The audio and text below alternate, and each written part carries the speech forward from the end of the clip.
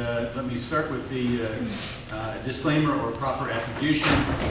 The written materials were prepared by my partner Kevin Handley, who is also a professor at the center, uh, who was called away uh, unexpectedly today to Washington. So the written materials are all. The color commentary by me is all suspect. Um, And with that, that clarification, uh, I'm going to run through some but not all of this because we could spend an hour and a half just reading off the items on the list. In the last couple of weeks, we started with the Obama administration announcing general principles for financial regulatory reform.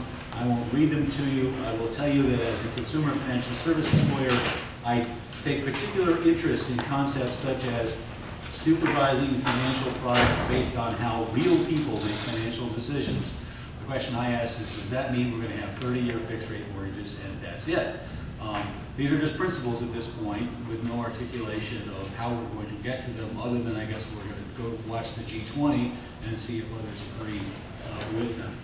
Um, We also have the budget in the last couple of weeks, which includes a number of items of relevance to financial institutions. A couple that jump out at me are the elimination of the FFELP program. Um, There was a number published yesterday by the FFELP Industry Association, MSHL, that that means approximately 35,000 jobs will be eliminated uh, in the private sector, which has delivered FFELP for the last uh, 40 plus years. Uh, We also have another $250 billion in the uh, Rainy Financial Institution Day Fund as a part of the budget. Uh, Treasury, um, Geithner gets specific, um, you know, more specific. Uh, We have the stress test going on with the 19 largest financial institutions, uh, who will then, uh, like other banks, have access to the capital assistance program. In addition to what's in the outline, um, the term sheet for the capital assistance program note that typically uh, a financial institution can receive up to 2% of risk-weighted assets in uh, capital assistance under the program, but the Treasury can award, quote, exceptional assistance, unquote, to systemically uh, important institutions, which I guess means there is a blank check for um, too big to fail. Um, Let's see, the mortgage loan modification uh, concepts that are at the heart of the Obama's uh, multifaceted uh, foreclosure program, or foreclosure crisis mediation program were announced in the last two weeks. Um, And these are important as a backdrop to what Frank is going to talk about, among other things. The modification guidelines are uh, reminiscent, uh, or borrow heavily on the FDIC uh, programs used with IndyMac borrowers who had option arms, or exploding arms, as we like to call them in my class. Um, And uh, look at, at taking a borrower and really looking at what is their ability to pay rather than what is the collateral worth. We ignore what the collateral is worth. We uh, start with reducing the rate on a loan uh, to 2%, possibly uh, extending the amortization to 40 years, um, and uh, potentially even forbearing the collection and the uh, assertion of interest on principal, all with the goal of getting the debt-to-income ratio for a borrower uh, who has a job down to 31% to the extent that we use mechanisms that are going to erode the position of the lender uh, to go from 38 to 31 percent, the Treasury pays cash um, to uh, subsidize 50 percent of the reduction in the payment. So there's a sort of a, um, a pain-sharing mechanism involved um, in this concept. Um, I think maybe this is a good time to also mention that the um, Congressional Oversight Panel that was created under TARP um, issued on, I think it was Thursday last, the 6th of March, um, their uh, report, all 257 pages of it, of the foreclosure crisis and how we're doing or not doing in dealing with it. It's fairly critical of how we're doing. It's a great read. Uh, I want to thank Frank for pointing it out yesterday as it's coming up very recently on the web. And if you Google um, congressional oversight foreclosure, uh, it's the first thing that pops up on, on the list.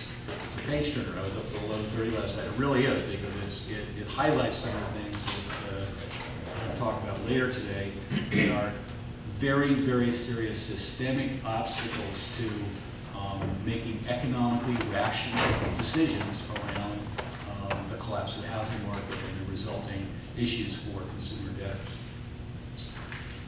Okay, we all know about Citigroup.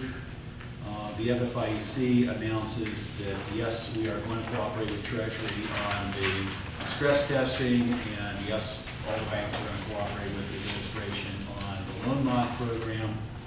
Um, Kevin in- included SR 094, I think is relevant to every banker in the room, you know, especially the large bankers who are probably not in the room, but um, the articulation, of re-articulation by the Fed of restrictions on dividends by bank holding companies um, was a way to provide market cover for the large bank holding companies to do what rationally they should have done some time ago, which is to stop paying dividends as if they were public utilities. Um, Now, that is going to hurt the first person who does it, um, who doesn't have earnings but pays dividends. Uh, But if there's a regulatory pronouncement that says we should all do it together, um, then we don't have one bank or one, or a couple of banks taking all the heat. Uh, And as we've seen on page uh, eight in this outline, um, the large financial institutions have all announced in the last week, uh, their dividends are going down eighty-five percent or thereabouts. Um, We have an announcement from Fed and Treasury of the actual launch of TALF on March 25, some fine tuning to the haircuts. That's the uh, um, the over-collateralization that you have to create for uh, the asset-backed securities that will then be collateral for um, loans from the federal government.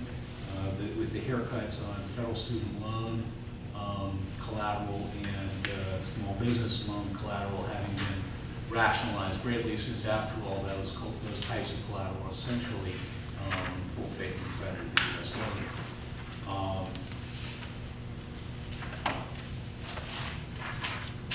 uh, Skipping forward, um, not going to talk about uh, the tax deferred asset ruling, which I'm told by the cognoscenti is just cover for, for uh,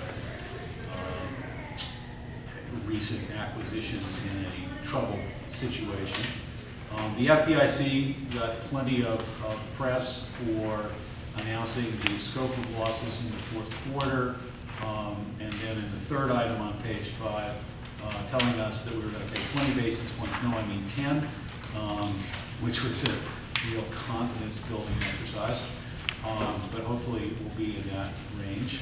And also announced its enforcement actions um, for the quarter. Uh, The only uh, action I could find in New England were my friends at Little Kennebunk Savings Bank in Kennebunk, Maine, um, who had some problems with flood certs to the tune of a $25,000 civil money penalty. Um, Otherwise, the problems that were noted by the FDIC were outside of this region. Um, Moving down the, the list, we had Chairman Barrett repeating that we don't see taking over large financial institutions. Um, We also had the FDIC saying if you're a three, a four, or a five, not a um, financial institution uh, in good shape, you should be shrinking your position in brokerage products. Um, That's distilling what seven or eight pages say, but that's the way I read it. Um, You should be shrinking, not growing, certainly not growing, and probably shrinking your position in brokerage products, or you will be uh, criticized for having um, poor liquidity capitalization. Um, And I guess this is another good place to, to mention the Chairman Bernanke's speech yesterday, which also strongly supported the idea that we are going to support but not nationalize systemically important financial institutions. Um, The OTS letter, which seems self-evident that uh, capital isn't capital until you have it, changes a rule that the OTS followed with um, some of its stronger institutions like IndyMac to allow the counting of capital that was just a promise of capital. That won't happen anymore. Um, The SEC uh, confirmed that shareholders who have voting rights under TARP uh, to vote on um, management compensation will, will have those rights starting um, in the first half of this year. The SEC has granted an exemption to facilitate um, the TALF um, investment banking process uh, from restrictions that would otherwise apply to broker-dealers uh, facilitating the credit side of the TALF uh, structure. Um, We've all read the Federal Home Loan Bank of Boston announced losses. Others have announced losses. Uh, I think Seattle was yesterday. Um, And so uh, those who represent or are leading institutions who um, had uh, Fannie Freddie preferred now get to ask themselves the question, um, do I have to deal with accounting treatment for uh, the previously um, under 10 cent a dollar stock of home loan banks? And do I have to do it as a 123108, which is another hit earnings for community banks, if that's where we're going? Um,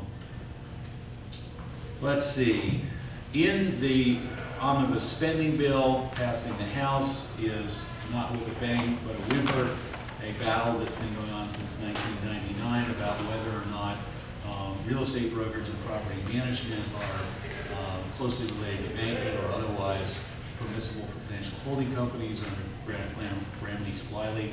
Um, The, uh, the answer is no.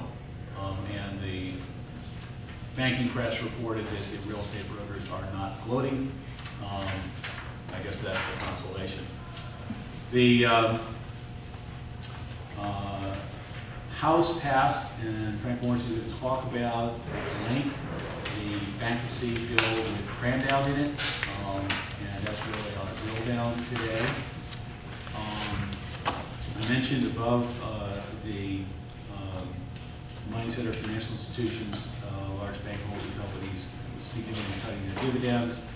Um, And Martin, I told you I'd get done in less than 20 minutes. Last but not least, uh, my friends at Ballard Spahr, uh, who I would think arbitration is the cure for all ills that consumers bring against banks, lost big time in the Supreme Court yesterday, um, which essentially said you have to let a state court judge decide whether you could use the Federal Arbitration Act to deny a consumer uh, just a